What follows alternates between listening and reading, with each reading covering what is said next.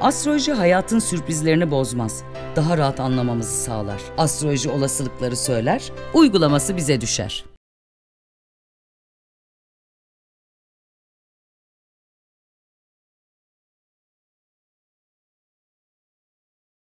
Merhabalar efendim, Billur TV'ye hoş geldiniz, sefa getirdiniz. Yine güzel konularımız var, ilginç şeyler çekeceğiz. Çok heyecanlıyız, Çağatay'la birlikteyiz. Siz de özlediniz biliyorum, çok soruyorsunuz Çağatay Öztürk'le niye bir şeyler çekmiyorsunuz diye. Yine döndük dolaştık, bir konuda karar verdik. Değil mi? Evet. Hoş geldin bu arada. Merhaba. Uzun zamandır görüşmüyoruz. Bugün de yani e, bir sürü aksilikler geldi başımıza. Sonunda çekime Olsun, başlayabildik. olsun. Çok mutluyum Çağatay'cığım. Sen de çok tatlı bir insansın. Ben senin yerinde olsam evime dönmüştüm. Ben hiç öyle şeyler yapmam. Her işte Bizim bir hayır vardır. Doktor işte adam. Her Yani. işte bir hayır vardı. Bak Bence onun meslekle pozitif. de ilgisi yok değil mi Aynen, Buğra? aynen. Bence Onun yapıyla ilgisi ikizlerlikle var. ilgisi olabilir. İkizlerle olabilir evet. Değil mi? İkizler Benim- üstü aslanla daha çok ilgisi Öyle olabilir. mi diyorsun? Ben mutsuzluğu sevmiyorum. Ben de sevmiyorum. Evet. Bak bugün mutsuz olmadım farkındaysan. Eğleniyoruz. Buğracığım burada. Bugün dedik ki biz yeni bir program formatı ayarlayalım kendimize. Ee, 2B 1Ç diye bir programa başlayalım dedik. Bu 2B 1Ç'nin programı.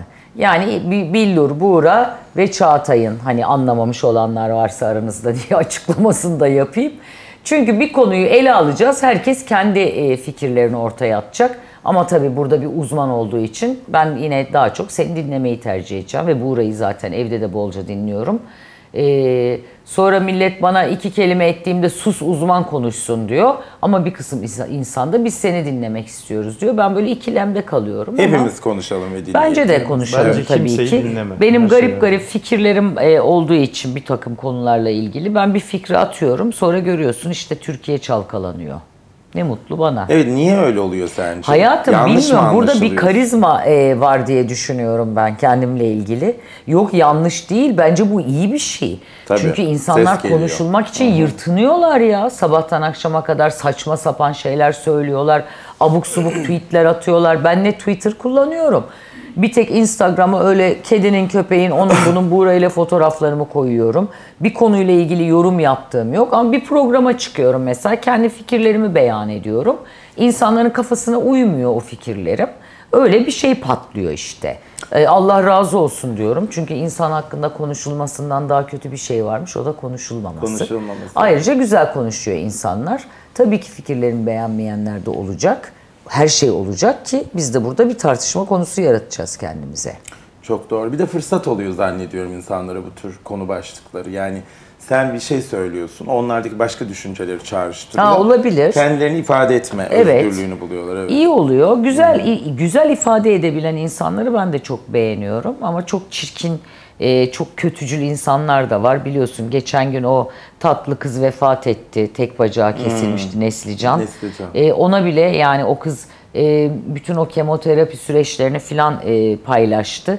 Bence bir sürü gence de çok güzel örnek oldu. Çünkü e, kanser kanser yaşayan bir sürü genç var. E, ve insanlar belki ne yapacaklarını, hayata nasıl bakacaklarını bilmiyorlardı. Kız dedi ki belki gideceğim ama mücadeleyle gideceğim dedi. O mücadelesini de her gün ben onu çok sıkı takip ediyordum. Yani hep güler yüzüyle, hep o rujuyla, hep o zaten çok güzel bir kızdı. Hastalık onu hiç yıpratmamış gibi güzelliği durdu son anına kadar. Ona bile o kadar çirkin şeyler yazanlar oldu ki. Kız bir gün demiş ki bir paylaşımında kanseri yenebiliriz ya kötülüğü demiş. Kötücüllüğü pek yenemiyoruz galiba. Dünyasal olarak böyle bir sıkıntı var son zamanlarda. Biz bir programa çıkıyoruz Buğra'yla. Siz bu 10 seneyi nasıl geçirdiniz diye sormak akıllarına gelmiyor da ya Buğra seni aldatırsa diyorlar. Onun için döneceğiz dolaşacağız yine aldatma konusuna geleceğiz. Aslında aldatma meselesi tabii insanlık ilişki tarihi kadar eski bir mesele. Ee, ama günümüzde e, aldatmaların nedenleri, anlamları, içerikleri çok değişti. Ben e, seanslarda da e, bunu sıkça görüyorum ve e, birçok kişi ilişki yaşarken o ilişkideki eksiklik yüzünden aldatıldığını zannediyor ya da o eşi aldattığını zannediyor. Oysa ki bazen mesela çocukluk dönemindeki bir travma, daha önceki programlarda da hani konuşmuştuk. Mesela bir e, kardeş kıskançlığı ileri yıllarda replacement obje dediğimiz yer değiştirilen nesne haline getirebiliyor kişiyi. Örneğin sen 5 yaşındayken bir kardeşin doğabiliyor. Aile bütün sevgisini, bütün her türlü ilişki transferini o çocuğa yoğunlaştırabiliyor. Sonra e, sen o dönem ifade edemediğin, içinde tıkanmış bir duygu birikimiyle belli bir yaşa kadar kafanda, bilinçaltında onunla ilerliyorsun. Sonra kendini orada replacement obje yani yer değiştirilmiş nesne olarak hissettiğin için acaba yine ilerleyen yıllarda bu tür bir girift ilişkide biri beni biriyle yer değiştirecek mi? Allah Allah. Bilinçaltıyla da hareket eden olabiliyor. Ee, Birçok mesela e, bu tür aldatma konularıyla ilgili. O zaman her kardeşi olan birilerini Hayır her aldatıyor. kardeşi olan değil işte az önce Ha. dedim ya kişinin üzerindeki etkisi, ailenin orada tavrı bunlar sebeplerden bir tanesi. Yani bu ona bakarsan her eşi bilmem ne olan da aldatmıyor. Yani bu şunu unutmayalım. Hepimiz karakterlerimizle yani mizacımızla doğuyoruz. Ama kişilik onun üzerine e, bir anlamda da yani karakter bir yerin arsası. Kişilik onun üzerine çıkan İnşa katlar ediliyor, gibi ha. inşa ediliyor. İşte sosyal çevre, aile çevresi. Ve bunun yanı sıra algı tipimiz var, zeka modelimiz var. Yani farklı farklı etkenler var bir kişideki o davranışa onu sevk eden. E, şunu unutmamamız gerekiyor. Günün sonunda aldatsak da bir ilişkiyi aldatıldığımızda kurtu- kurtarmak istesek de istemesek de hayatta tercihlerimizle var oluyoruz. Yıllar önce e, Londra'dayken bir gazete röportaj e, yaptığında birkaç terapistle birlikte yapmış. E, ben de sırada bilmiyordum diğerlerini. Bir soru sordular. Sizce sizin görüşünüze göre mutluluğun anlamı nedir? Mutluluğu bize bir tanımlar mısınız diye. Ben çok kısa bir tanım yaptım ve o yıllar oldu o tanımın üzerinden zaman geçeli. Ve hala geçerliliğini koruyor ve sanıyorum siz de katılacaksınız. Bence mutluluk, dedim ki tercihlerinizi yaşayabildiğiniz ölçüde mutlusunuzdur.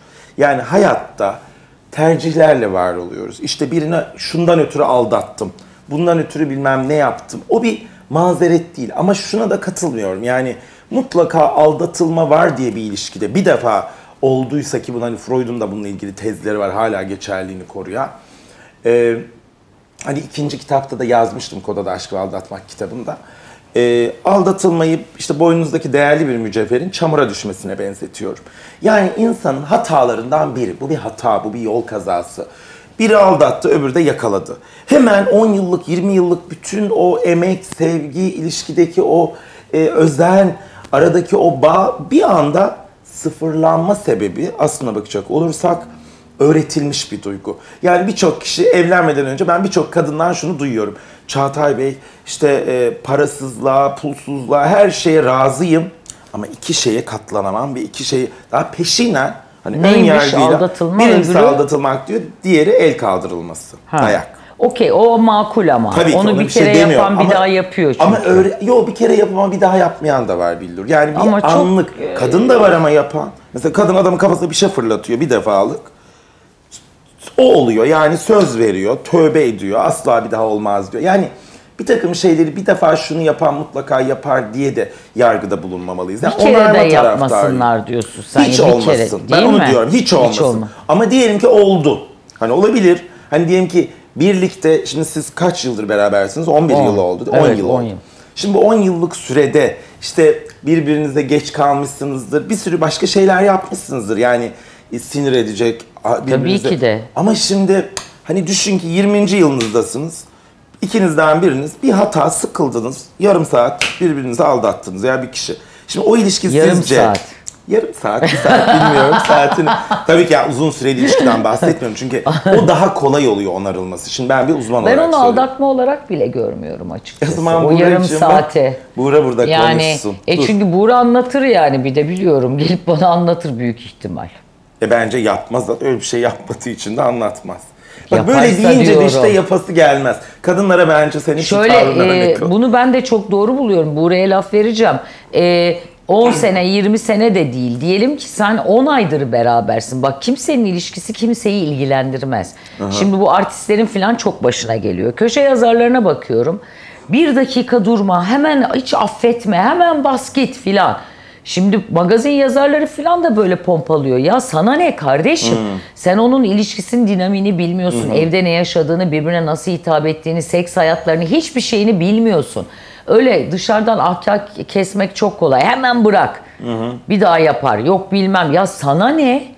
Ve millet affediyor mesela kocasını. Vay affetti gördün mü? Ay senden hiç beklemezdim böyle bir hareket. Veya az önce söylediğim gibi onun sebebi sadece eşiniz olmuyor. Yani eşinizin eksikliğinden. Bazen şu da oluyor e, Bildur bak inan bana.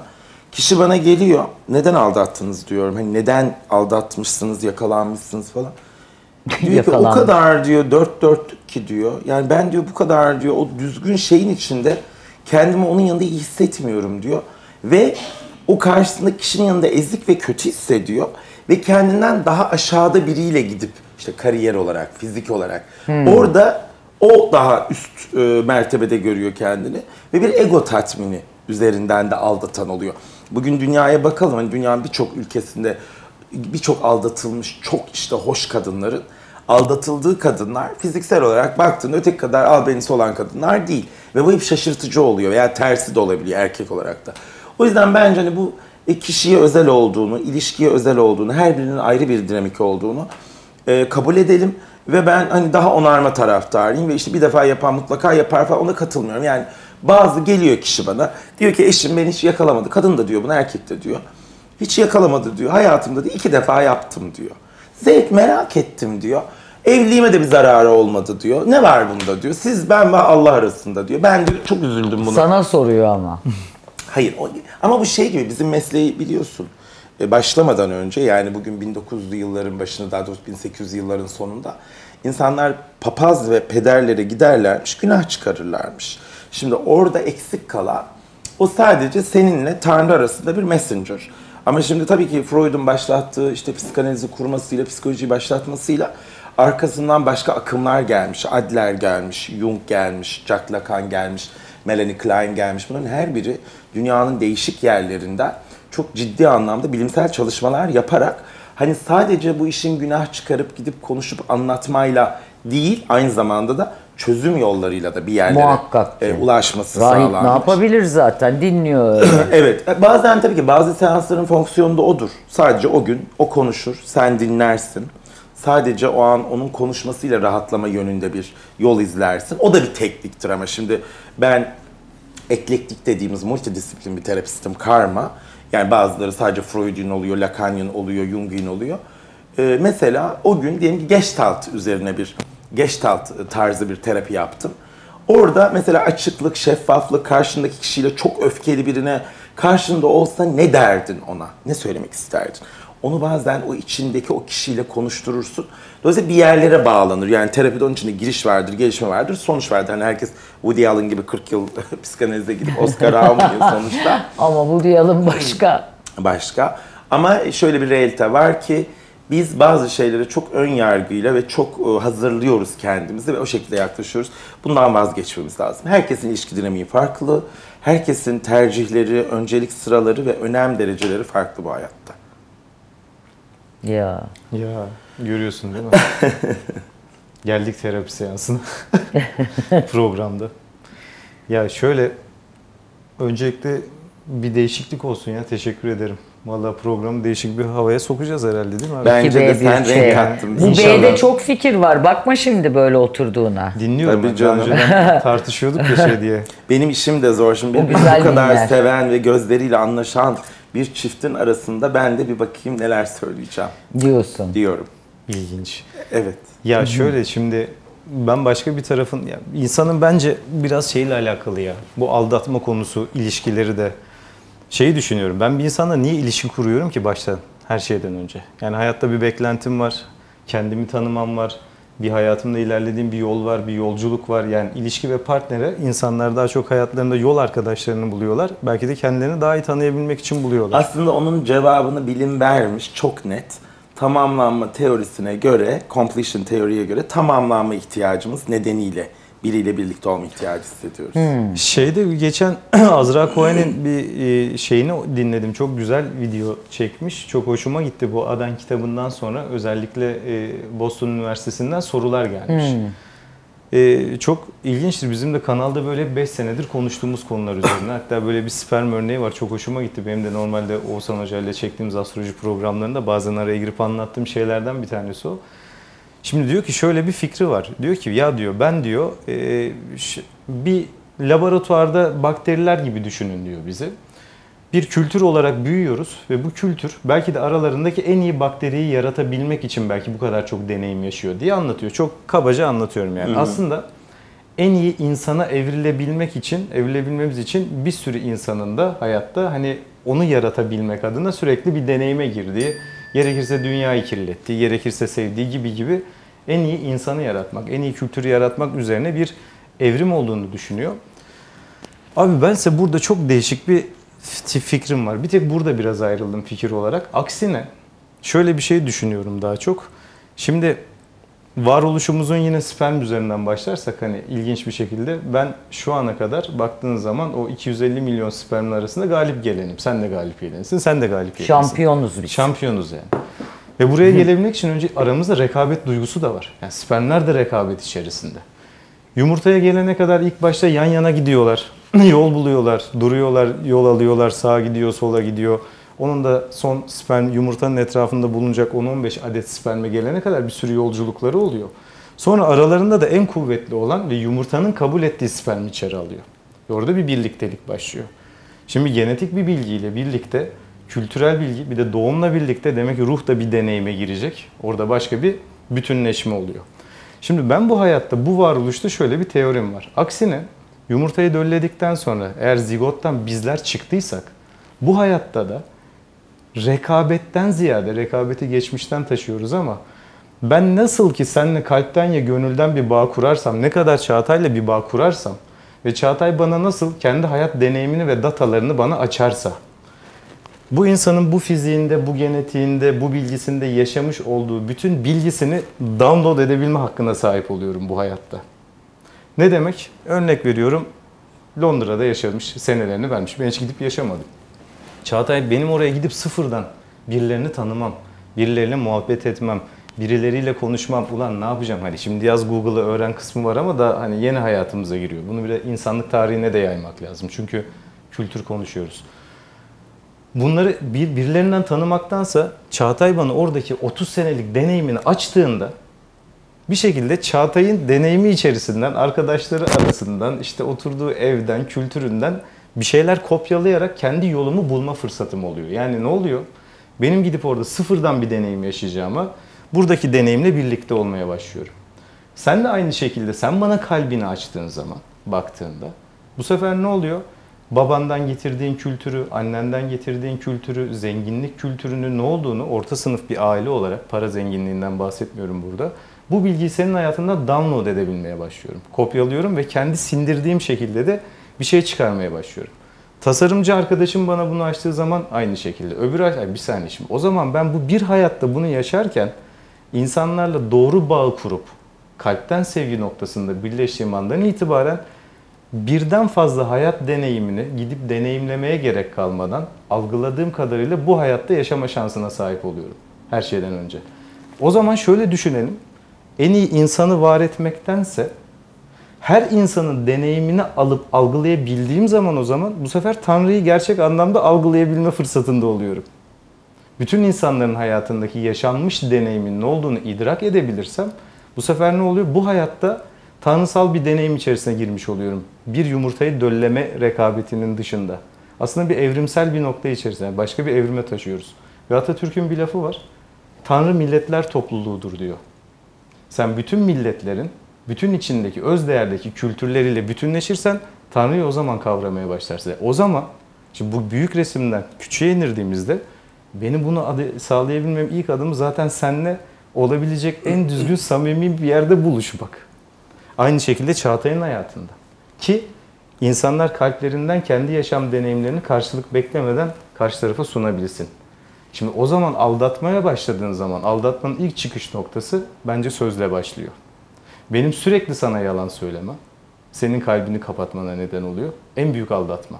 Bırak bedenimi birisiyle paylaşmaya her şeyden önce. Dolayısıyla böyle ufak ufak ufak ufak ufak ufak aldatmalarla yalan söylemek, kandırmak, dolandırmak ne oluyor? İnsan zaten gitmesi gereken yolda insan evriminde kendisini geriye bırakmaya çalış, bırakıyor. Hakeza ne diyor danışanım? Sorduğunda çok güzel bir şey söylemiş. Allah'la benim aramda. Ulan zaten orada o aldatma. Kocan duymasa da olur. Sen biliyorsun. Senin bilmen zaten yeterli. Dolayısıyla aslında senin kendi vicdanınla ve yaradan arasında eğer o muhasebeyi yapabilecek noktadaysan o zaman ruhun evrimi için kendi kendi evrimin için zaten oraya girmemen lazım. Onun dışındakileri insan realitesine sokuyorsun. Ve bunu sağladığın zaman kalbinde bu sefer şuraya adım atabiliyorum. Benim senin dışında kız arkadaşlarım var ama sevgilim yok.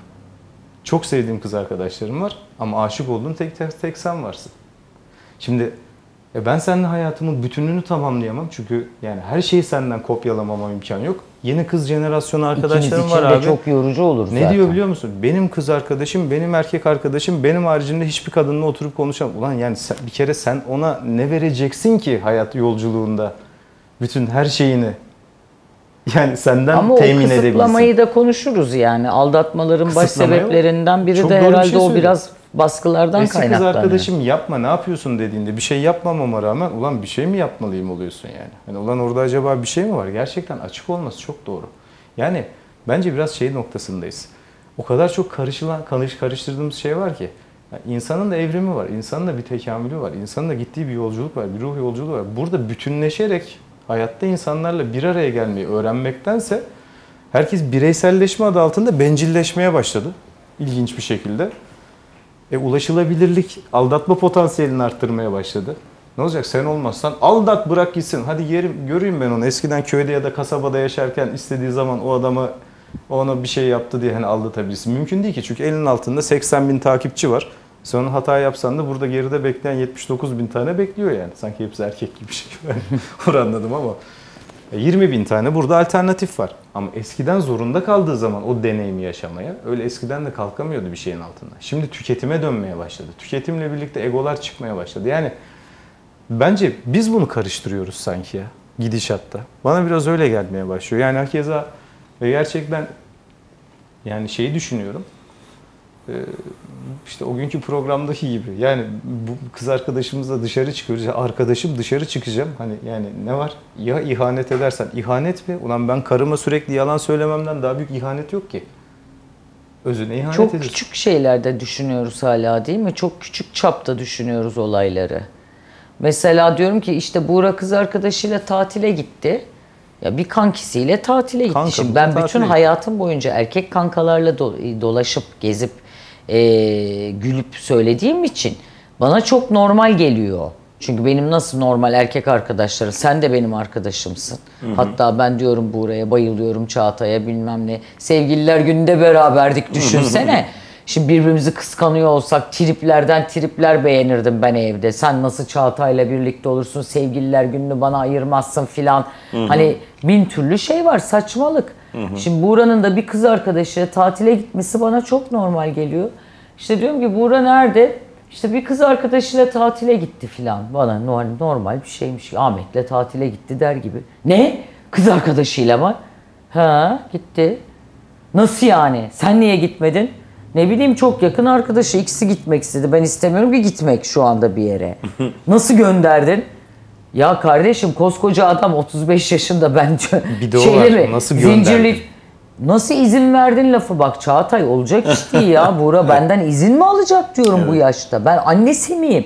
Bak bir kız rica etmiş şeyden e, DM'den mesaj yazmış. Ne olur diyor şu şeyle ilgili bir e, bir video çekin diyor. Yani kocalarının annesi olmaya çalışan kadınlarla ilgili mesela. Ben diyorum ki ben sevgilimin sevgilisiyim kardeşim. Annesi değilim. Ne kılığına kıyafetine karışırım ne ne yaptığına Kaldı ki karışırım. annesi de karışmaz yani bu yaşta koca Ya bir annesi adama. ay, anne Anne ama karışsın? annecilik oynarlar ya evlendikten O ama zaten sonra. orada da bir arıza bir durum var. O da Evet. sağlıklı değil. Şimdi ya mesela- Hmm. ben çocuk doğurmadım annelik yapmayayım diye. Sevgilime niye annelik yapayım? Onu da anlamıyorum. Veya niye kıskanayım? Niye Ama yollanayım? bizde şöyle bir durum var ya mesela sen onu gerçekten içselleştirerek kendi isteğinle söylüyorsun. İşte geçenlerde senin o gündem oluşturan bu çocuk meselesiyle ilgili söylediğin şeylerle alakalı profilinde bazı yorumlara baktım. Şimdi mesela gerçekten bu kadının düşüncesi bu. Böyle bir hayat yaşamış ve böyle düşünüyor. Demek yerine işte onun çocuğu yok ya, işte o çocuğu olmadığı için Ya öyle bana bir diyor ki çocuk doğuramadı diyor. Yani- ya kardeşim ben de diyorum gençtim bir zamanlar ki. ya. Evet, çok ben de ilginç yani. doğurgandım, gençtim. Çok da doğurabilirdim. Ben İşte bunu seçmedim. ilginç. Bir tanesi demiş ki genç sevgilisine çocuk veremeyeceği için demiş çok e, kıskanıyor ve üzülüyor. Ya kardeşim biz bunu genç sevgilimle konuştuk bakın. Sizin yapamadığınız bir sürü şeyi yapıyoruz biz. Biz şimdi aptal mıyız? 10 senedir birlikteyiz. Ya, aramızdaki yaş farkı belli. Başından beri konuşuyoruz. Çünkü ben mani olmak ister miyim? Çocuk sahibi olacak Tabii. isteyen bir adamla birlikte olur muyum bir kere? Ben o kadar geri zekalı mıyım? Benim ne kadar akıllı olduğum belli hayatımı yaşayışımdan. Hiçbir tane erkek arkadaşıma mani olmuş muyum bir sorun. Ben ne vardı evlenip çocuk yapmak isteyen adam. Baktı ki ben ona uygun değilim. Kaçtı gitti bıraktı beni evlenecek bir kız buldu evlendi. Arkasından da ağladım. Çok da üzüldüm ama e çünkü bunu konuşmamıştık. Kendi kendine karar vermiş. Ha bu doğurmaz herhalde. Ya benle konuşsana. Ben zaten sana söylerim. Ben oturup çocuk isteyen bir erkeği zapt edip de sanki öyle bir hani şey esiyor. Ben burayı zapt ettim. Yazık çocuk çocuk olsun istiyor ama beni de bırakamadığı için filan. Yok böyle bir sinema bizim hayatımızda. Dolayısıyla yani hep yine aynı noktaya geliyoruz. Gerçekten tercihlerimizle var oluyoruz. Evet. Ve Aynen öyle. iki insanın birlikte olmasını da yani e, aslında baktığımızda hani psikoloji ilmi diyor ki her insanın bir birey olma özelliği var bir de ait olma özelliği var. Şimdi birey olma özelliğimizi tamamen unutarak bir ilişkiyi yaşarken aidiyet özelliği üzerinden ben sadece seninle var olayım, sen sadece Ha. benimle var ol tarzında bir durum zaten fonksiyonel bir beraberliği de yanında getirmiyor. Dolayısıyla o tüketici bir yere götürüyor ilişkiyi. E, tam tersine biriyle beraber olduğunda kimlikleri ne kadar zenginleşirse yani mesela oradaki o kimlikleri işte arkadaş, işte şu anki moda tabirle kanka, işte yok kan kardeş, abla her şey o artırdıkça işte seyahat arkadaşı, seks arkadaşı neyse hepsini artırdıkça zenginleşiyor. Zaten arkadaşlıklarda da öyle değil midir? Şimdi biz seninle niye iyi arkadaşız, iki arkadaşız? Şimdi bizim gidemeyeceğimiz, hani katılamayacağımız bir ortam düşünemiyorum seninle. Hani her yere gideriz, her ortamda. Hani ben senden çekinmem, sen benden çek. Ne oldu? Şimdi arkadaşlığımızdaki kimlik zenginliği bu arkadaşlıktaki tamamlanma durumunu daha bir köklü hale getiriyor. İşte sizin 10-11 yıllık bu beraberliğinizde işte alışılmışın dışında olan bir takım kriterler var ya orada işte birilerinin kafasında sürekli soru işareti uyandıran. Bir de şöyle bir durum var. Şimdi ben mesela bazen gündemi takip ederken bir şey oluyor. Mesela biri karısından kocasından ayrılmış ünlülerden. Hah belliydi. Bekliyorlar. Evet, Böyle çok hiç ayıp bir şey değil mi ya? Ay, Çok ilginç. Ama şimdi bir de şöyle bir durum var ya. Bizim ülkemiz çok ilginç bir ülke. Şimdi mesela bakıyorsun e, işte bizim kültürümüzde diyor mesela biz diyor işte komşu aç e, yattığı zaman biz tok yatamayız falan diyor. Ama sen onun yuvası yıkıldı diye üzülmüyor, Evet, seviniyorsun. Yani ha zaten belliydi diyor. Veya öbürü bakıyorsun. Baştan şimdi böyle bir tespit yapabilirsin. Hani dersin ki yok bunlar olmaz bir çift olarak yani. Hani tanıyorsundur ikisini de. Tamam tanıyabilirsin ama bak emin Ama ol, o bile belli bile değil emin diyorsun, olamıyorsun. değil mi? Billurcuğum şimdi dört Doğru. duvar diye bir şey var. O dört duvarda kimin ne yaşadığı kimseyi Doğru. ilgilendirmez ve bilemez. Hani şimdi bilmiyoruz ki o dört duvarda ikisi arasında ne e, inişler çıkışlar oluyor, birbirlerini nereden tamamlıyorlar, nereden o ona çok iyi geliyor. İnan bana o tür e, bir takım yargılarda bulunup çok yanılan kişi de biliyorum. Hani bu bununla asla olmaz. Şimdi torun torba sahibi hepsi. Yani dolayısıyla şuna geleceğim. İnsan psikolojisini müspet ilim yapmaktan zaten alıkoyan en önemli nokta ne? Şimdi müspet ilimlerde baktığınızda 2 ile 2'yi toplarsın 4'ü bulursun. İşte 4 tane biri toplar yani sonuca ulaşırsın aynı sonucu bulursun. Psikolojide de bin tane aynı yoldan yola çıkarsın. İşte bin tane adam bin tane güzel kadınla evlenir. Ama biri aldatır, öbürü onun ömür boyu yanından ayrılmaz, öbürü bilmem ne olur. Veya biri bir cinayet işler, o cinayetin uzantısında milyonlarca farklı sonuç olur. Niye Freud demiş zamanında kaç çeşit e, psikoloji var diye sormuşlar. Dünyada ne kadar insan varsa O o, kadar, kadar, aynen var. öyle. Dolayısıyla dünyada ne kadar insan varsa aslında o kadar ilişki tipi var. Ama Sen hayatım- önceki ilişkine git, Burayla olandan çok farklı. Tabii ki de. Heh, Aynen işte anlatayım çünkü Çünkü benim de yaşım farklı, farklı. eğitimim Evet, farklı, hayata bakışım yani farklı. 5 yıl sonraki ilişkiyi yaşama biçiminle Buğra da yanında olsa şimdiki aynı olmayacak. Tabii ki. 5 yıl öncekinin olmadığı gibi veya Kesinlikle Buğra aynı şekilde. Kesinlikle öyle. Ama niye o zaman böyle bir ilim var mesela psikiyatri diyorsun. Şimdi siz de e, sen e, psikoterapistsin ama siz de ilminizde neticede bir takım kalıplar üzerinden Ama orada az önce dedim ya hayır başında dedim hayır şimdi şöyle. Bizde şimdi bu iş bizim özellikle psikanaliz bu işin mühendislik ve matematik kısmı. Psikiyatri işin medikal kısmı. E, psikoloji, klinik psikoloji kısmına baktığımda çözüm odaklı bir takım şeyleri psikanaliz kadar derinlemesine ve bilinçaltı tabii ki yöntemin ne olduğu önemli. Çözmese de günün sonunda bir hani painkiller meselesi, bir ağrı kesici durumu. Ve bunlar teorilere, kişilik tiplerine bunların hepsi Ha. zamanla kuramsallaşmış. Şimdi hep söylüyoruz mesela diyelim dört tip kişilik tipi var. İşte e, barışçıl soğukkanlı, popüler optimist, melankolik, güçlü klorik. Şimdi biri benim önüme geldiği zaman ben önce karakter tipine bakıyorum, kişilik tipine bakıyorum. Tıpkı bir astrolog nasıl ki doğum haritası çıkarıyor. Ben de ona göre karakter tipi, kişilik tipi, algı tipi, zeka modeli. Şimdi onun üzerinden aşağı yukarı mesela sinemada da vardır psikanaliz. Benim ne mesela o dördünden? Sen şimdi mesela sorumluluk söz konusu olduğunda güçlü klorik dediğimiz yani yönetici tarafı ve liderlik tarafı olan bir e, kişisin.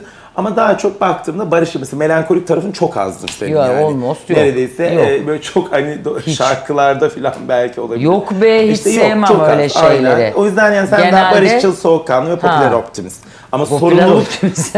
Sorumluluk işin içine girdiğinde de Ha, üçünü de yani hepsini barındırıyorsun aslında Tabii, ama hani bu tabii. işitsel, görsel, Hayır. E, dokunsal Kişiye, gibi bir duruma, ağırlık evet, basıyor. ağırlık basıyor. Aynen. Ve duruma göre değişken Ben onun gösteriyor. için büyük ihtimal en çok seninle rahat ediyorum. Kimse alınmasın. Çok psikiyatr falan arkadaşım var. Psikolog çok tanımıyorum yani birkaç kişi. Ama ben yani Buğra ile ilk beraber olduğumda psikiyatrlardan duyduğum e, profesör arkadaşım biri bana gelip bak artık çok yaş farkı var aranızda. Hani bu ağır olacak sana yani aldatır bu seni büyük ihtimal genç. İşte bunlar ön çok üzülürsün ve bu acıyı çok zor atlatırsın dediğinde sen ne diyorsun ben güne bakan biriyim beni 3 gün mutlu ederse 3 günle dua ederim dedim. 10 sene bitti.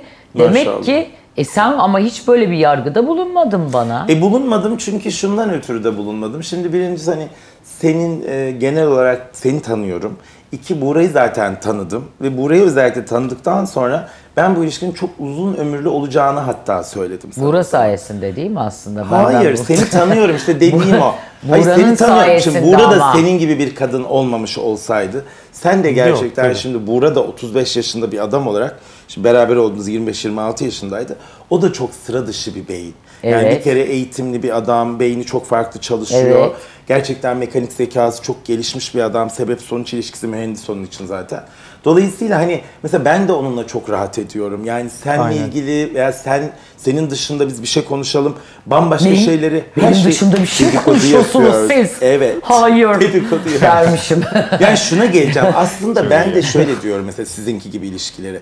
Yani diyorum ki o özel bir kadın, o da özel bir adam. Onun için bu ilişkinin zaten sıra dışı olma olasılığı, olasılık olarak diğer sizin beklediğiniz olasılıklardan daha fazla. Yani minik bir olasılık hesabı yapalım. Doğru. E zaten Billur farklı bir kadın. E Buğra da tanı yani birileri gerçekten Buğra'yla da oturup konuştuğunda sen de hani sadece Buğra'nın tek özelliği gençliğiymiş, yakışıklıymış. Evet, Bence abi, Buğra'yı böyle- tanıdıktan sonra geri planda kalıyor gençliği Bir de çok özür dilerim. Daha önce de genç sevgililerim oldu. Hiçbirinin tek özelliği Evet. yakışıklı ve genç Değil olması. yani. Öyle bir özellik mi var? Bir de sen öyle yani bir kadın kadar değilsin sıkılırsın. yani. Düşünsene İlgisi- genç işte. O Sen zaman milyonlarca seyret, genç var. ülkede. koy seyret ya. Buğra o zaman yaşlandı. Nüfus kağıdını hayata. bıraksın sana. Sen nüfus Aa. kağıdını arada çıkar çıkar bak. Verdiği Hayır bir de öyle bozuyor. oluyor. Ha? Verdiği sözü bozuyor. Hayır bak Yaşlandı sende de dedim, bak. mesela. Hayır sende de mesela benim yabancı arkadaşlarım seni görüyor. Mesela tabii ki doğal tepki, reaksiyon. İlk daha görüyorlar, wow ne kadar göz kamaştırıcı bir kadın diyorlar. Sonradan ben biraz bir aramızdaki diyaloglardan falan bahsettiğimde çok ilginç bak bu yorumları birbiri hakkında duymayanlar seninle ilgili ilk sözleri she is gorgeous ardından da so down, she sounds really down to earth. Yani sürekli böyle bir durum söz konusu. Yani bazen o tabii ki fotoğraf dışarıdan nasıl gözüküyor başka ama bir de o insanın içine girdiğinde ve tanıdığında onun için diyorum ön yargılar, ilişkilerde aldatma meselesi, bu bundan yaş farkı var, o güzel kadın, öbürü çapkın adam. Yani bunları bir bırakalım. Kişiler değişebiliyor. Mesela bir adam ömür boyu çapkınlık yapmış olabiliyor. Yaşı geliyor 50'ye. Bambaşka bana gelip anlatıyor ve açıyor kalbini. Çağatay Bey diyor artık diyor ben böyle çok güzel bir ilişki istiyorum ve gerçekten ama öteki de onun namını duymuş. Hani çok çapkın adı çıkmış derler ya 9'a inmez 8'e. Yani bunlardan vazgeçelim. Artık ön yargıları, ötekileştirmeleri, dışlamaları bırakalım. Buğra az önce çok güzel bir şey söyledi Atatürk'ün e, sözüyle. E, gerçekten o tanrısal enerjiyi bence karşındaki kişide eksik gördüğün ya da ötekileştirdiğin şeyi içselleştirdiğin zaman tamamlayıp ve o tanrısal enerjiye ve Tanrı'daki bütünlüğe ulaşabiliyorsun. Yani ben mesela danışanlarımdan çok şey öğreniyorum. Tabii, Kendimle muhakkak. ilgili çok eksikleri tamamlıyorum. Bazen oradaki yalancı tarafımı buluyorum. Bazen hırsız tarafımı buluyorum. Yani çünkü onlar her yer duruyor orada. Ama onları sen eğer şey yaparsan ortadan hani beslersen hırsız tarafın beslenir. Yalancı tarafın beslenir. Oyunculuk da öyle bir şey. Hani oyunculukta da bunu yapıyorsunuz. Dolayısıyla şuna geleceğim. Ötekileştirdiğiniz şey aslında kendi içinizde dönüştürmekte eksik bıraktığınız şey. Onu tamamlarsanız çünkü bazıları Kesinlikle. sadece oradan hareket ediyor. Şimdi buraya da bilmem bence ona da soralım. Sana mesela ne tür yorumlar geldi daha ilk beraber olmaya başladığınızda bir de o kanattan dinleyelim. Ya şey hani milli jigoloydum bir kere her şeyden önce. Yani ne kadar bak enteresan Ve ya, hani bir de şey ilginç. iki tane yerden giriyor ilginç bir şekilde. Ee, burada ilişkisine sahip çıkmak isteyen insanlara hakikaten tavsiye verebileceğim bir şey var. Çünkü hani kendi hayatımda neyi uyguladığımda sonuç alabildim en azından. Sonuç aldığım bir şey var. Şimdi ya resme dışarıdan bakmak çok normal. Tamam Billur zengin, evet, Billur çok zengin bir kadın doğru. İşte par- parasını yemeye geliyor falan. Ya bir saniye hani niye parasını yemeye geleyim? Sen beni tanıyor musun her şeyden önce bir kere? Şimdi adam şunu yapıyordur işte bir birisi olmak istiyorsun ama kadını buldun değil mi? Ya hayır öyle bir şeyim yok. Aksine insanda nerede sıkıntı yaratıyor biliyor musun? Ben onu fark ettim. Ben gerçekten niyet olarak bu bahsedilen büst benzetmelerden bir tanesini içimde taşıyor olsam gerçekten parası için birlikte oluyorum ya da gerçekten işte oğlum sen bilmem ne yapıyorsun gibi internetten bir de gelen bir sürü abuk subuk mesajlar var yani hani şu karıyı da bir türlü bırakamadın gitti bir biz işte faydalansak falan filan gibisinden. Sonra ben de bu arada bunlara cevap veririm. Densizliğe bak ha. Ya keyifle bu arada cevap veriyorum yani hani tamam? Ondan sonra dört mesaj sonra kardeş sen de delikanlı adammışsın Ha, çok özür öyle dilerim de dönüyor. Çünkü hani bilmediği bir şey var. Çünkü önemli olan Dönüştürüyor aslında onları. Tabii tabii. Çünkü- Buğra çok e, başarılı o konuda. şey önemli ama bende bir problem Ben olsa. küfürü basardım mesela. Buğra'dan sonra ben de öyle evrildim yani biraz. Evet. Ha, çünkü öyle Sana iyi geldi ama bu arada daha Tabii. sakinleştin. E, e, tabii benim- ki. Benim niyetimde abi bak gerçekten senin içinde o varsa gerçekten niyetin oysa onunla oturuyorsan o mesaj geldiği andan itibaren senin yarana dokunuyor. Ve ister istemez ilişkide de şöyle oluyor. Lan bu bardağı niye buraya koydun lan diye kavga çıkıyor. Çünkü aslında kadınla alakalı olmayan bir şeydi ama kendi durumunla alakalı dışarıdan bir dokunma oluyor ya. O noktadan sonra sen de orada sıkıntıya girmeye başlıyorsun. O yüzden ben şöyle bir tavsiyede bulunmak istiyorum. Senin vicdanında, içinde, kalbinde eğer şüphen yoksa zaten dışarıdan gelen hiçbir şey dinlemeyeceksin. Geçen çok güzel bir laf okudum. Suyun üstünde yürüsem bile yüzme bilmiyor der insanlar senin için demiş. ya o kadar güzel bir şey ki yani. İnsanlar yüzme bilmiyor diyecekler diyor. Şimdi ve şey çok doğru. Ve şuna gitmeye başlıyorsun. Marjinal olmaktan ziyade ben bir de hayat akışında şey öğrenmeye başladım. Türünü bulmaya başlıyorsun. İlişki yaşarken ve yolculukta giderken. Hani aynı tüyün kuşları birlikte uçar diye Amerikalıların bir lafı var. Yerde hepimiz aynı yerde yürüyebiliyoruz ama martısı da, serçesi de, işte kargası da ama uçtuğun zaman türünü buluyorsun abi hayatta. Ve bence ilişki yaşamak da aslında orada bir şekilde türünü bulma yolundaki yaşadığın sınav ve deneyim gibi bir şey. Çünkü sana uymayan birisini de alıp taşıyamaya başladığın zaman hani dediğin gibi farklılıklar üzerinden ben iyiyim o kötü diye değerlendirmiyorum. O türünde güzel zaten. Yerinde çok güzel. Ama kumaşı uymuyorsa, türün değilse zaten ilişkide aslında eliminasyon olmaya başlıyor ve nasıl bir şey yaparsan devamlılık yine esas. Yine çok güzel bir şey söyledin. Biz her sene kontrat yeniliyoruz aslında ilişkide. Kira kontratı gibi. Ben ne geçen seneki Buğra'yım, o ne geçen seneki Billur. Hani Billur aynı Billur olsa ben ilerlesem ilişki yürümez. Ben kalsam Billur ilerlese yine evrimleşmeye başlarız. Her sene aslında ilişkide dönüp dolaşıp şu kararı veriyorsun. Biz bu yolda yürümeye, seninle gitmeyi tercih ediyor muyuz, etmiyor muyuz? Hani bunu söze döküyor muyuz? Dökmüyoruz ama örnek veriyorum ben de kendimi çok geliştirdim. Sen de geliştirdin. Ben seni de tanıdığım sürece acayip başka bir kafada, başka bir vizyonda adam olduğun o kadar belli ki yani şey ben kesinlikle onaylıyorum. Şahidim çünkü hani seyirciler hani danışanımdan çok şey öğreniyorum dediği şey o kadar belli ki. Çünkü Çağatay her noktada üstüne bir şey koyuyor. E, o da bir ilişki. Yani illa sevgili olmak zorunda değilsin ki değil mi? Yani hani Hatta kuruluş- bende şöyle bir his de uyanıyor Buğra. Şimdi bunları siz çok iyi anlarsınız. Şimdi yeni biri geliyor mesela. Yeni bir ge- gelen kişide yeni bir problem, yeni bir gündem. Diyorum ki mesela benle ilgili neyi göstermeye geldi? Aynen. Çok doğru. Veya yeni bir mesela evdeki yardımcım diyelim ki gitti yenisi gelecek. Mesela bunun ne özellikleri Ya da var? ne Benle tarafımı ilgili- yansıtıyor, değil mi? Evet veya güvenlikler değişti sitede. Mesela diğeri bakıyorum neyle ilgili bana bir şeyi aslında mesaj olarak iletiyor. Şimdi biz çoğumuz Çünkü bir ekosistemin değişiyor yani. Evet Doğru. yani Ekosistemin içi değişiyor. Tabii biz başkasında hep bir takım şeyleri arıyoruz, tarıyoruz. Bir de az önce işte sen ya da Buğra ile ilgili ilişki anlamında yargıda bulan, bulunan çoğu kişi risk yönetimi konusunda da sorunlular bence. Yani kafalarında bir risk sınırları var. Şöyle bir kadın, şöyle bir adamla birlikte olursan şu şu şu sınırlar içinde Öyle şu bir şu olur. sinemada yok ama, Ama yani. öyle bir şey yok. Yok. Hiç ummadığın bilmem nereden ne oluyor ne Aynen çıkıyor. öyle. Öyle değil mi? Yani Doğru. biz e, 10 senedir e, bana mesela geçen gün Hande Kazanova'nın e, programına katıldım. Ekotürk diye bir küçük kanalda program yapıyor. Bana dedi ki mesela siz hiç ayrıldınız mı? Hayır dedim. Biz kavga etmedik. Tabii ki ederiz yani. Kavga etmeyen çift mi var? Ben bir de severim de arada sırada bir kavga çok çıkarmayı bir falan. şey, evet. Bir gün hatta oh be dedim. İyi oldu böyle kavga ettiğimiz. Buğra daha şey barışçıl ve sakin bir tip olduğu için e, sevmez aslında çok fazla. Deli misin sen filan dedi bana. Ne dedim ya sabahtan akşama kadar seni seviyorum, seni seviyorum. Anladık lan seviyorsun işte. Dedi ki sen ruh hastasısın bana. Ya dedim ki bak bütün gün seni seviyorumla da ilişki yürümez. Bir şeylere sinirleniyorum, kızıyorum, bilmem ne vıdı vıdı ediyor. Kadınım ben yani. Bir şeyleri kafaya takıyorum filan.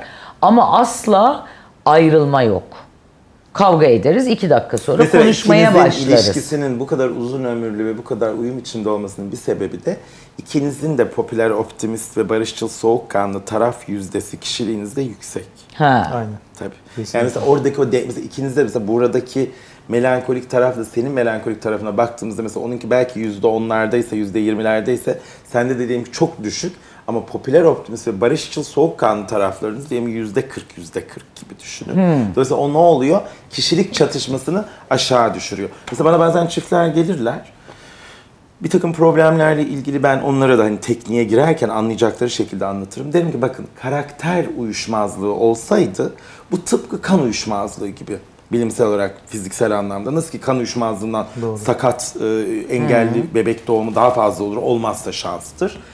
Ama kişilik çatışması da varsa kişilik çatışması kişilik sonradan oluştuğu için o önlenebilir ve düzelebilir. Ama benzer kişiliklerse ve orada bir uyum varsa içinde kişilik dengelerinde sizde olduğu gibi işte barışçıl, soğukkanlı, popüler, optimist ya da neyse oradaki denge işte o zaman bu anlattığın gibi o an ilişkiyi onarıcı tartışmalar olur. O da bir büyüme getirir beraberinde. Ve ayrılma diyorum Hayır. ben. O lafımı tamamlayayım. Aynen. Ee, ben bu ayrıl barış ilişkilere katiyen katılmıyorum. Çünkü bir şeyleri koparıyorsun ayrıldığın tabii, zaman. yıpratıyor. Ben gidiyorum kapı çarpmalar, evden çıkmalar, üç gün gelmemeler, bilmem neler. Hmm. O her seferinde bence bir tedirginlik de yaratır. O ilişkide bir zarar da verir. Yokluğuna Bir delik açır seni. ha, bir Yokluğuna delik açar yani. Tabii. Mesela çok soruyor. Siz hiç ayrılmadınız mı? Diyorum ki ayrılmadık. Çok mu garip bir şey bizim ayrılmamış olmamız. Ama sonra hani bakıyorum yaşıt insanlar evleniyor. iki ay sürmüyor ilişkileri. Bir ay sonra ayrılan var. Al bak bir örnek vereceğim şimdi. Magazinsel olduğu için veriyorum. Burcu Esmersoy evlendi. Kız boşandı hemen. E ne oldu o aşka işte evlilik kararı. Şimdi bir de benim biraz garibime de gidiyor Çağatay. Evlilik kararı verdirtecek kadar bir aşk yaşıyorsan niye bir şeylere tahammül etmedin? Ama niye ona bir şimdi yeni bir mesela- evlilik türü çıktı yalnız. O da gündemde. çok. Evlenmesinler CV abi. evlilikleri. CV'leri uygun birbirine. Her evlenmeye karar veren birbirine aşık olduğu için evlenmiyor. CV'leri uygun. Ama bak uymuyor demek ki işte bir yerde CV de ayrılıyor ya da ne oluyorsa İşte yok yani. CV'den ötürü evlendiklerinde duygu orada olmadığı zaman Ya bir de şey bitebiliyor. olabilir mi? Yani hani ben hocaya soracağım. Hocam diyorum sana ama yani uzman Tabii ki, olduğun için estağfurullah, söyleyeceğim ne şimdi. demek. Ya o şey karıştırmıyorlar mı? Aşkla tutku arasındaki farkı bence insanlar çok edemiyor- bence yapamıyorlar, bilmiyorlar. Yani ikisi Evet, arasındaki. Çünkü o da şu aşk bir duygudur. Sevgi ise bir taahhüttür. Birine aşık olursun. O bir anlık duygudur. Yani bugün dörtte gideyim şu köşede kanyonun önünde birine aşık demiyorsun. Çıkıyor ve aşık. Diyebilsek iyi olurdu. Ama sevdiğinde burada olduğu gibi şimdi aşık oldunuz sonra sevdiniz. Sevginin uzantısında kontrat başlıyor. Taahhüte giriyorsunuz. Söz veriyorsunuz. Ha demek o zaman benim arkadaşlarıma verdiğim tavsiye e, biraz doğru. Diyorum ki mesela çok aşık oluyor. Biz evleniyoruz. Diyorum ki bir bekleyin. Şu Bekleyin. aşk hisleri bir şey yapsın. e, bir çöksün. Hani işte kumların e, tabana çökmesi gibi. Sonra bir bakın. Ben bununla hayatımı devam ettirmek istiyorum. Çünkü öyle bir insan oluyor ki ben bundan hayatta ayrılmam diyorsun. Ya da aşk o deli hisler bitiyor iyi filan oluyorsun yani bu da kim filan işte ay ter kokuyormuş ay bilmem hani kusurlarını görmeye başlıyorsun. Diyorum ki bekleyin şu kusurları görecek duruma gelin ondan sonra karar verin evlenmeye. E, Öyle aşkın- deli aşıkken Hayır evlen. aşkın bir de kimyasal olarak İşte hastalandıran o- bir o tarafı ta- var o yani. bir Bu- geçsin, E, tabii değil mi? çünkü yani midende kelebekler uçuşması, ellerinin Öyle, terlemesi, e, ben de vücudun- isterim E, evlenmek bu ne oluyor yani. mesela? Belli bir süre sonra bütün ömür böyle bir hisle fiziksel çarpıntıyla Zaten zaten yaşanamaz. Ölürsün diyor ya doktorlar. Evet, tabii. ama öyle babam da evlenir işte. de- Ben de isterim dedim yanlış oldu ama. Şey karışıyor sanki. Bak tutku çok başka bir şey. Bak cinsellik temelli. Tabii ki. Tut bak tutkunun içerisinde çünkü eğer ağır seks ve cinsellik varsa o sekste biraz sürtünme enerjisi var, çatışma. Zaten hani ya şimdi bizim ilişkimizde seks yok mu? Var. Ondan bahsetmiyorum. Temelinde sadece tutku ve cinsellik üzerine kurduğun, daha alt çakralarda yaşadığın bilincin üzerine sevgiyi ve aşkı, hayat bütünlüğünü inşa etmeye çalışıyorsan bence biraz olmuyor. Çünkü bu sefer burada bir birliktelik var. Ama herkes sevgi duygusuna geldiği zaman bu sefer e, avatarına ya da hayal ettiği insana evriltmeye çalışıyor ya da bir beklenti oluyor. Karşıdaki insandan da bir beklenti başlıyor bu sefer. Çünkü tutkuda şu olur ayrılırsın ya belki kavgadan beslenirsin anlatabiliyor muyum? Çünkü yani seksin de Dayaktan sert tarafı beslenen vardır var yani. değil Hani mi? Bir sürü şekilde şeyden daha iyi beslenen. İşte bilirsin. dinamik yani bazıları öyle. Ama evet. işte şey değil mi yani seksteki ya da tutkudaki hani iki insanın ya şey ya İskandinav'da bir arkadaşımdan örnek duydum çünkü İskandinav ülkelerindeki ilişkilerle alakalı araştırmadım tanımıyorum şey ben benim bilgim değil aktaracağım. O yüzden çok da öneri olarak da sunmuyorum. Diyor ki şöyle güzel bir şey söyledi. Önce öncelikle insanlar genç yaşta İsveç türevi ülkelerde buluştukları zaman önce ilk başta yatarlarmış. Bedenleri tanıyor. Orada mutlu olurlarsa yemeğe çıkarlarmış. Ben de bunu onaylıyorum. Sonra sinemaya giderlermiş. Hani artık tam orada da artık hayatta kültürlerimizde de bir uymaya başladı. Bakalım bir yol alıyor, arayabiliyor muyuz diye. Bence Biz çok de mantıklı. yani başka bir yerden tutup hemen anlatabiliyor muyum? Yani ilk kurduğun bağ üzerine çok basit bir şey üzerine hemen yani çocuğun senin futbol topuna vurabiliyor diye Fenerbahçe'de oynayacak diye bir durumu yok ya da Galatasaray'da. Şimdi Ama bu da bence şey. kişiden kişiye çok değişecek bir şey. Mesela biriyle cinsel olarak bir intim bir şeyi paylaşabilme aşamasına gelmek için de birçok insan da oturup hani bir onunla vakit geçirmeyi de isteyebilir. Yani önce tanıştığın biriyle cinsellik yaşamak hook up başka bir yere götürebiliyor. Şey için yani o Hayır, yüzden yok, şey, doğu çok doğru. O Bana anlamda çok söylemiyorum. mantıklı Şey geliyor ama Yani mesela. o aşamaları geçtin diyelim hani buldun hani cinsellikte buluştun hani o bizde aa gel hadi evliye gidiyoruz oluyor yani. ha Hani o değil tabii. O- o evet, anlamda anladım. söylüyorum. Ya Yani yatmadan kalkmadan evlenmeyin Hiçbir şey diyorum. olmadan Şimdi yine öyle. kızacak millet Hmm. bana ama kardeşim çok önemli bir konudan Zaten bahsediyoruz. yapıyorlar. Sen hiç merak etme. Sana Yeni kızıyorlar ama. Ya bu bekaret Yo, yeni jenerasyon manyaklığı. falan değil. Emin ol bana bayağı yaş ortalaması 30 üstü olanlar da artık o yollardan geçerek yapıyorlar. Yani pardon da o yaşa geldiyse yapsın zaten laf mı yani? Hayır şunu da diyen var Bildur bak gerçekten. Mesela tabii ki aileleriyle bazıları yüz göz olmuyorlar. Yani olmasınlar da zaten olacak bir durum da yok. Ama şunu diyebiliyor mesela ben diyor ömür boyu diyor o adamın ya da o kadının organıyla da birlikte olacağım diyor. Ya beğenmezsem diyor. Evet. Haksız Şimdi mı? bunu mesela gündeme getirdiğinde herkes sus bakayım ne kadar ayıp konuş. Ya ben söylesem yine bir, bir, bir, var. bir ay konuşulur işte. Söyleyeyim ben bunu mesela çıkıp? E Yani Ha, sen burada ben... Yok gerçekten ama bak şimdi demin dedik ya tamam ben demiyorum Türkiye'deyiz biz neticede. Müslümanız, Türküz, bekarete önem veririz, şuyuz, buyuz. Bizim başka bir kültürümüz var. İsveç değil. Ama artık günümüzde bu bekaret baskıları, bu e- erkeklere yapılan baskılar yapılmayız Şimdi bunu artık da ben mesela ben. anlayamıyorum. Biz Müslüman bir toplumuz. Gıybet bizim e, dinimize Oo, göre bizde- haram. ha, Ama aa, Türkiye'de geç. en çok gıybet Evet. programlarından para Ya kazanılıyor. geç Bunu ya zaten ona Bildu? hiç girmeyelim. Bir sürü şey yani. E ne yapacağız yani? Gıybet, Yani ama o zaman işte öyle oluyor. O Ya yüzden de hırsızlık, kişi- E hepsi- ahlaksızlık, e o zaman yalan ne hepsi bizde. Sapiens'te de hani Harari ilk kitabında şey yazıyor Hmm. Sapiens'te diyor ki şey diyor dedikodu diyor insanlığın gelişimine vesile oldu Ama için- gıybet diyor bu. Tabii canım. Gü- iyi ki- güncel bunu, dedikodu. Bunu da çok güzel kullanan arkadaşlarım var. Diyor ki bak görüyor musun dedikodu yapmamdan şikayetçiyim diyor. İnsanlık evet. geliştiriyor diyor. Şu Ama da dedikodu başka, faydası senin dediğin başka Tabii, yani. Gıybet başka bir konu. Bence Benim anlattığım bilerek gıybet kelimesini seçtim. bir şey çok ilginç bir şey. Hani astroloji üzerinden de ilerlemek gerekirse yani mesela benim astrolojiye girme sebeplerinden bir tanesi de o ilginç gelen. Sonuç olarak mühendis kafada bir adam olduğum için hani dediğin gibi neden sonuca çok odaklanıyorum. Daha matematiksel şeylere bakıyorum ama şimdi sonuç olarak bir istatistiki bir durum var. Hayatın aktığı, biyolojinin evrildiği bizim seninle ilişkimiz aslında çok irrasyonel. Olmaması gerekiyor. Zaten hani genel kanıya baktığın CV birlikteliği değildi.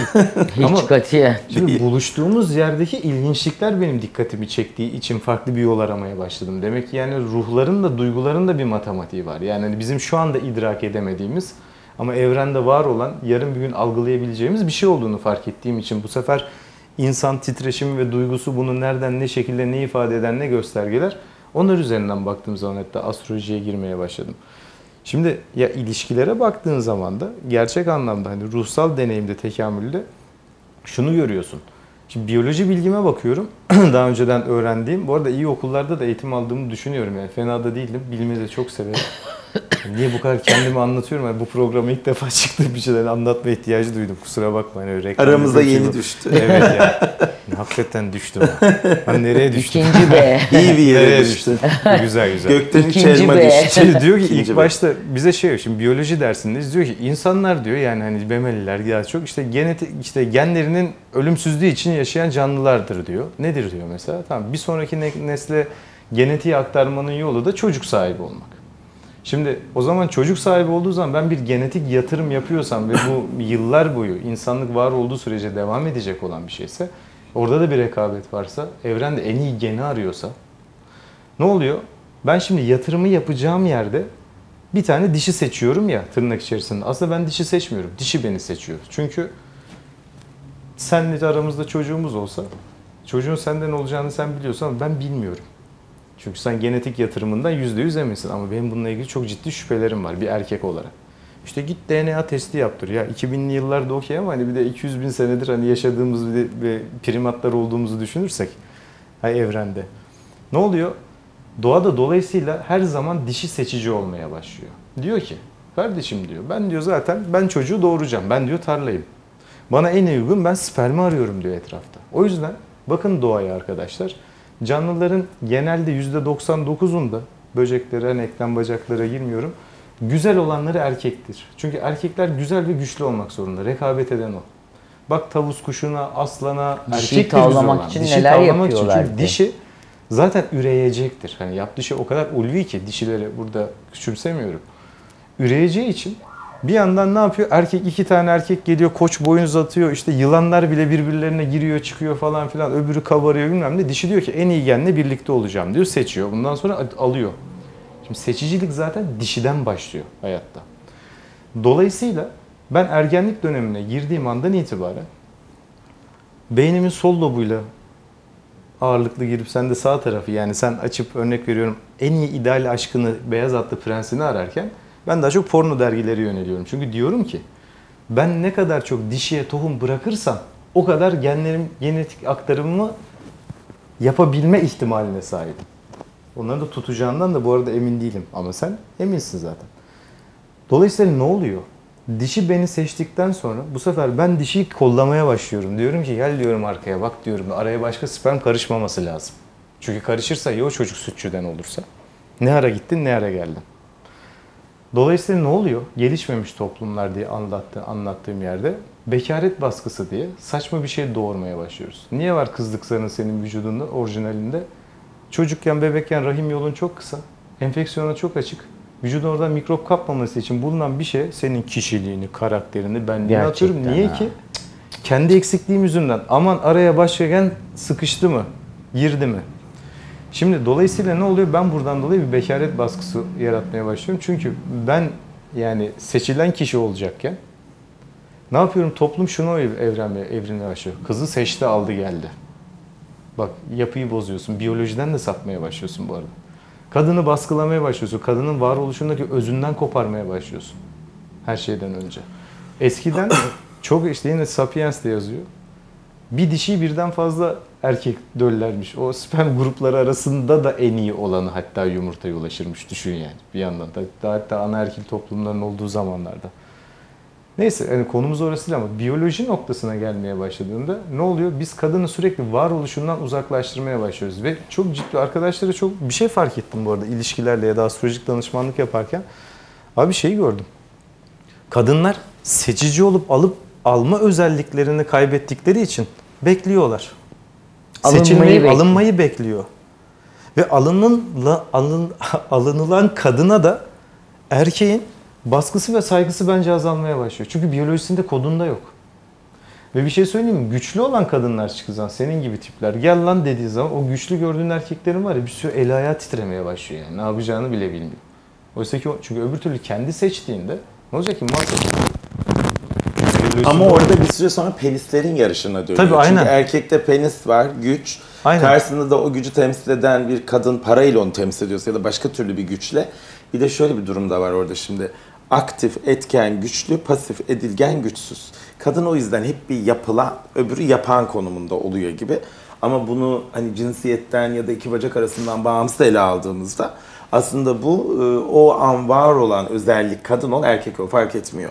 Oradaki o cinsiyetten bağımsız senin varoluşun ve duruşunla alakalı bir dengeyi beraberinde getiriyor. Sen şu e, duruşunla bir kadın olarak pasif edilgen güçsüz değil, aktif etken güçlü pozisyonda da olabiliyorsun. Veya bir başkası bir erkek orada pasif edilgen güçsüz pozisyonda olabiliyor. Ya da burada bir güçler dengesi oluşabiliyor. Yani onun için yani dönüp dolaşıp aslında aynı konuya ve noktaya geliyoruz. Bir ilişkiyi tamamlanma ihtiyacı nedeniyle yaşıyoruz. Artı bir ilişkide fiziksel, zihinsel ve ruhsal iletişim olmak üzere üç önemli ayak var. Ve bu dengeler kurulduğunda karşılıklı işte sizde olduğu gibi de bir karar alındığında kavga da edebiliriz, tartışabiliriz, bir şey de olabilir ama biz ayrılmayacağız ve birlikteliğimize devam edeceğiz. Ve son olarak da şunu ekliyorum, bu da yarın gündem oluşturmasın. Bir ilişkide yüzde 51 cinsellikten oluşuyor. Bugüne kadarki ilişki problemlerinde Aynen öyle. cinselliği iyi olan ilişkilerdeki bütün sorunları çözdük. Ama bütün her türlü Ha, başka şeye önemli. baktığımızda cinsellikte problem varsa çok üzgünüm. Onu çok zor o dengeleri oturtabildik. Çünkü cinsellik inanın bana savaşmayı da Aynen. başka dengeleri de sevişerek insanları bir arada tutabiliyor. Artı cinsellik yoksa arkadaşsın zaten. Yo bazılarında mesela böyle mesela şimdi geçenlerde bir çift gelmişti. Bakın bu ilginç bir hikaye. Şimdi 3 ayda bir, 4 ayda bir bir kez cinsellik yaşıyorlarmış. Oo, ne güzel. Kadın diyor ki ben ömür boyu böyle devam edemem. Adam da diyor ki çok normal zaten karı koca ilişkisi böyle olur. Ha, okey. Şimdi ben e, Süper. dinledim tabii dinliyorum. En sonunda beyefendi dedim bir şey soracağım. Dedim. Neye ve kime göre normal bu bir. Ha. E dinlemek durumundayım. Hani rahatsız etmeden çünkü hani o bir söyleyeceklerini söylesin. Sonra dedim ki bakın e, sizin bu savunduğunuz şeyi savunan bir erkek, evli bir erkek iki şekilde ve bu şimdi bir de anlıyorsunuz artık 20 yıla yakındır bu işi yapıyorum. Bir mesleki tecrübem var. Yani kimin libidosu nasıl ne değil bu fantaziler sever mi öbürü sevmez mi? Yani dedim siz yalnız konuşurken tabii bunu kadınla beraberken değil. Ya dedim çok mastürbasyon müptelası birisiniz. O şekilde tatmin oluyorsunuz. Ya da aldatıyorsunuz Başka kadınlarla dedim. birlikte. İkincisi var artık bilmiyorum kadınla mı oluyor erkekle mi oluyor. Başka bir mevzu var. Dolayısıyla bana yani gerçeği söyleyeyim biz anlaşalım biz sizinle. Önce burayı bir bula- bulalım. Çünkü neden? Yani sizin anlattığınız rutinde bir cinsel hayatınız olduğuna inanmıyorum. Bir de çözüm bulamayacaksın şimdi böyle doğru- yalanlarla çok- değil Hayır, mi? testosteron ölçüm testine gönderiyorsun. Ürolog Ha, muayene okey, ediyor. normal çıkıyor. Hepsi e, fizikselde hiçbir problem yok ama şimdi o zaman ruhsaldaki problemde 4 ayda bir kez sizin ben organ hayır dedi ben bir iki günde bir öyle olunca da bir hemen erkekliğe Ha, laf gelince aa dedi en fazla dedi ben bazen dedi günde iki kez bile mastürbasyon yapıyorum. Ha. Buraya gelin şimdi. Dolayısıyla şuna geleceğim. Yani cinselliğin olmadığı bir ilişki, bir evlilik, bir beraberlik eğer başka dinamikler ve dengelere bağlı değilse hani bilinçli olarak hani menfaat evliliği vardır, CV evliliği vardır, başka bir şeydir. Çocuk çünkü evliliğin bir de bu evlilik meselesinde yıllardır dillere pelesenk olmuş bir tanımlama vardır. Ben hiç sevmem. Kurumsal evlilik kurumu falan böyle. Evlilik kurum değil yani kuruma Abi kartla girip şey, çıkıyorsun. evet. Yani bir duygu işi Doğru. o. Ya bu kurum evlilik kurumu, evlilik müessesesi falan. Dolayısıyla bence evliliği biz müessese haline getirmeyelim. Evlilik müessese kurum kurumsallaşmasın. Plaza kültürüne evlilikte de yürütmeyelim. Çünkü onda şöyle oluyor işte az önce konuştuklarımız. İşte benim kocam sabah saat işte 7'de çıkar, akşam da 8'de eve gelir. Şimdi ben o adamla konuşuyorum. E, gündüz hallediyorum diyor işlerimi. Geceye gerek kalmıyor ki. Şimdi orada da bir ön yargı var. İşte benim karım asla şunu şöyle yapmaz. Ya bir kere bu şeyleri bir kaldıralım. Yani köşeli, kendimizi rahat hissettirecek, kendimizi kandıracak. Ama onlar bahane işte yani. Teselli Ama koca bir bahanesi yalan birazcık. yaşıyorsun ama o zaman E, yazık yani. öyle. Mesela fonksiyonu ne oluyor hani? Görüyorum ben evliliklerin çoğu yalan, mış gibi. Bak yine hani bir sürü insan yine kızacak ama mış gibi değil mi? Türkiye'de mış gibilik zaten çok var. Neden ayrı? Mış gibi annelik, mış gibi işte sosyetiklik, mış gibi artistlik, mış gibi mış gibiyiz yani. Neden mesela ayrılmaktan, ayrılmak konusunda bu kadar üzülüyorsunuz diye sordum birine. Dedi ki sosyal çevremiz ve Aa, ortamımız hep ya, aynı. Aynı. Şimdi orada karşılaşacak mesela Yani orada kocasıyla ya da karısıyla bir kaybediyor falan. Ya da bir yere sosyal gittiğinde bir tarafı da var. şöyle şeyler Tabii, olacak. Sen değil. Buğra'yla görüşüyorsan ben seninle görüşmem. Tabii. Filanlar var. Ya o bir işte Billur'u görürsen bana Tabii. selam vermeler Tabii, var. Ee, e, işte aynı restorana şey şart koşuyorlar. Ayrılırız bak park şamdana gitmek yok bundan sonra orası benim filan. Böyle şartlar şurtlar var. Yani ayrıldığı eşiyle biz ilişkimizi, evliliğimizi yürütemedik. Ama sevgimiz, şeyimiz bakidir. İnsanca sevgimizden bahsediyorum, aşktan değil. Çoluğu çocuğu var insanların ortak. Onu bile kullanmadan çok güzel ayrılanlar var. Çocuğu kullanıp dürtükleyenler var karşı tarafı. Yani her türlü çirkinliğe de okey ayrıldıktan sonra insanlar.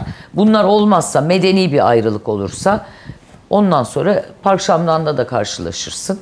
Senle ikimiz de görüşürüz. Bilmem ne de olur. Hiçbir sıkıntı çıkmaz. Çünkü orada niyet önemli. Gerçekten hani seninle bir başkasıyla ya da kimse o karşında benim çok var mesela evli bayan arkadaşım, evli erkek arkadaşım bir yerlere gidiyoruz. Ne onun karısı ne onun kocası hiç öyle bir Sen bir problem de laf taşıyor musun arada? Ben sana gelirim bir Kesinlikle şey böyle bir şey söz anlatırım. konusu Buğra belki gelir Var. bir gün bir Bana şey bazen anlatır. ben bunu deyince böyle yapıyorlar hemen. İşte siz tabii terapist olduğunuz için ah diyorum yani. Yo alakası- ben de öyle bir arkadaşım. Hiçbir Evet, e, bir sen sürü eş arkadaşlarım var. Ne Evet. kadının dediğini erkeğe Evet. ne de erkeğin dediğini O bir kadına söylemiyorum. tabii. Benle ayrıca paylaşıyorlar. Tabii. Buraya bile anlatmam ben. Tabii evet. Bir de şey derler işte sevgilisini nasıl anlatmıyorsun filan öyle bir şart mı var diyorum bana mesela gizli bir şeyini söylemiş.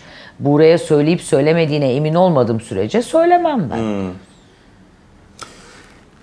Velhasıl geldiğimiz Aldatmaya noktada geldik ya aslında bence aldatma yoktur diyoruz aldatma biz yani. yoktur değil ama bence aldatmaya çok katı kurallarla yaklaşmayalım. O da günün sonunda bir işte ilişkide yol kazası olabilir, hata olabilir, insan sıkılabilir. Mutlaka hani Freud'un dediği gibi bir kez o bir emniyet sibobu görevi de Ama bir kezden bahsetmezsek onu başka bir programda çekelim. Çünkü bunu alışkanlık haline getirmiş veya bunu yapmaktan Ama o artık çok hata olmuyor. Bak şimdi bir var. davranış alışkanlık haline geldiğinde tercih oluyor. O hata olmuyor.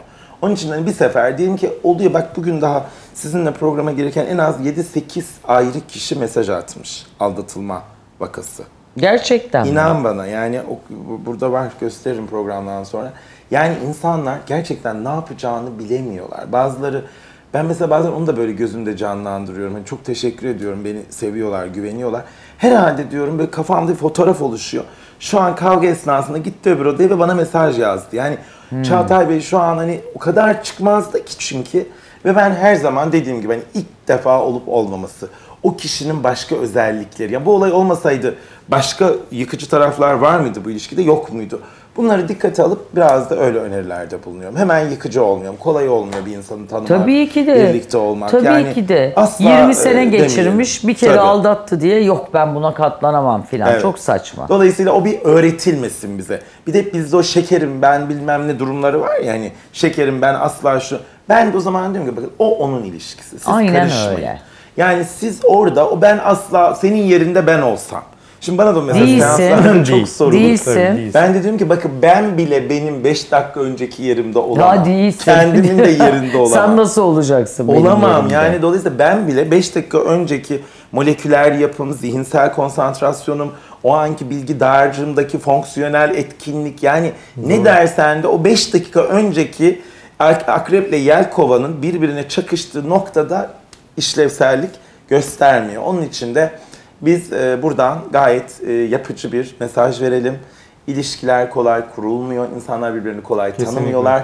Kolay bitirmesinler ve lütfen e, bir şans daha verirsin. Herkes en az bir şansı daha hak ediyor. Hak ediyor diyorsun. Müthiş. Bunun üstüne söylenecek bir şey yok Evet. zaten. Ve bence çok keyifli bir programdı. bu Evet. program. Değil mi? Buğracığım aramıza hoş geldin. Hoş bulduk. Teşekkür ederim.